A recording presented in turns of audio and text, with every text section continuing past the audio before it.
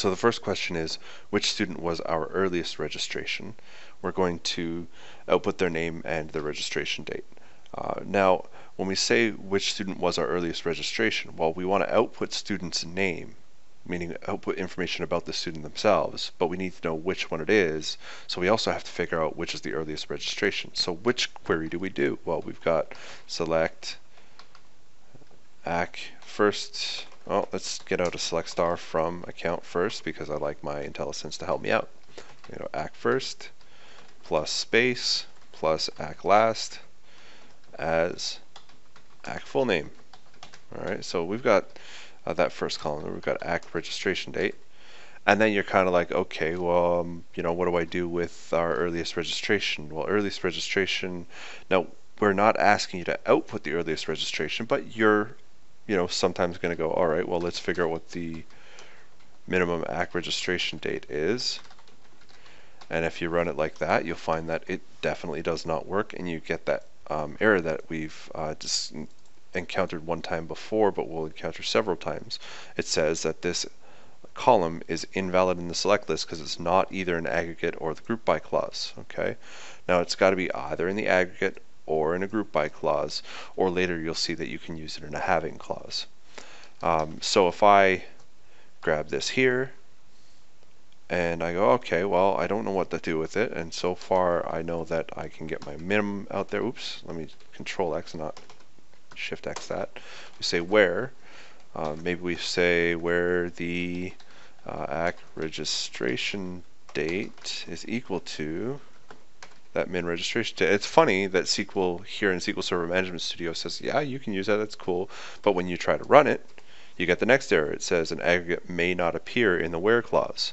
So what do you do? Well, you want to make sure that the registration date that we're looking at is is the lowest registration date, but you can't use this directly in the where clause. How do you use it? Well, you wrap it in another select. You go select min ACK registration. And then because this query inside the brackets is going to be sort of in its own zone, we have to tell it again to grab it from the account table. So we say min registration from account. Now let's look at it from another direction, all right? So that min registration date 2016 01 20 blah blah blah. Um, if we had tried to type in that date manually 2016 01 20 17 20 19 da da da da da da, da right? Think that's what it equals out to anyway. Yeah, that's pretty close anyway. Um, so if we put in that date manually, that'd be um, somewhat okay. So maybe if I did that, I'd be okay because I've got all zeros after that. But as soon as we miss those seconds, it no longer works, right? Oh, I got to take out that last bit there. If I do that, notice I, I have to get it right down to the second, and I'm sometimes going to be wrong.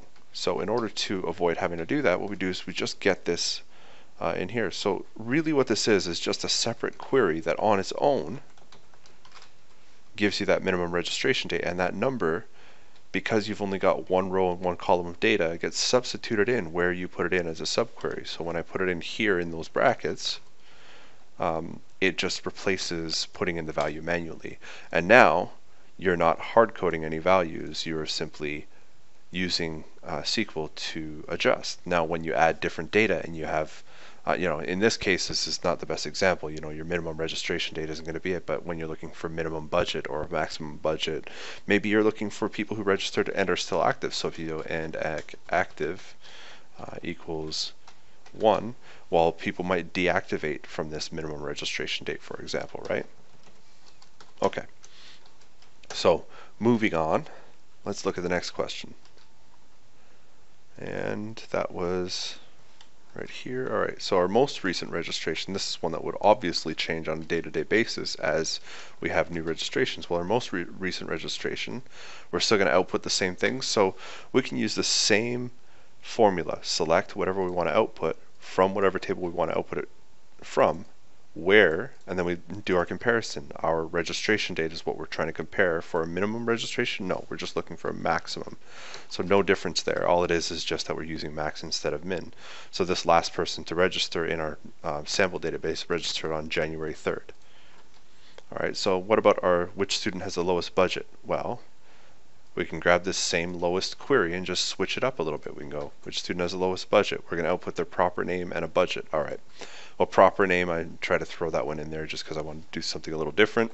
Ack last, and we do plus, comma, plus ack first as ack proper name we call that a proper name when we put the person's last name and then their first name. Um, some cultures do that automatically. Uh, we usually say first name, last name. So when we say proper name, if ever you see that, that's what it means. It's just a little point of interest for you. I'm going to put that on multiple lines this time. And we're also going to output their budget. All right. Now what we're looking for now is lowest budget. So let's do this from this point. We're checking ACK budget is equal to and then whatever your lowest budget is, right? So to get that lowest budget, we we can kind of you know put in a number here, and that's not going to give us anything. So what do we do? Well, in place of that number, we're going to put that query to find out what the lowest budget is. So select min ack budget from count. Okay. Now this make sure to mention the table the, the let's say the from clause in your subquery as well.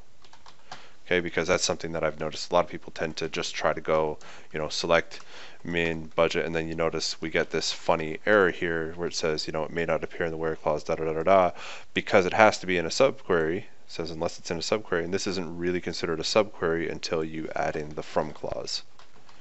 Right? So now it should work just fine, right? Right, and you can see the proper name, last name, comma, first name. We just did things a little differently here.